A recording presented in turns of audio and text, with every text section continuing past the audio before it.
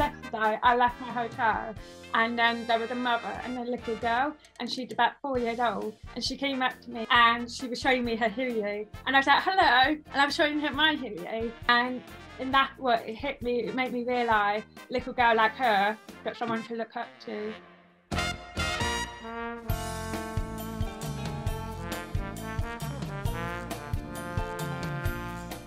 Well, Melissa's saying, when I heard that there would be a deaf girl dancing on TV, I thought that was amazing and I was really proud of that.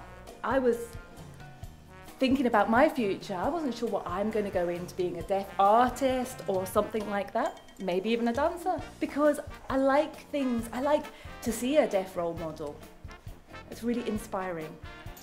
I, I make to because I saw like deaf people and I used to always always like watching deaf people.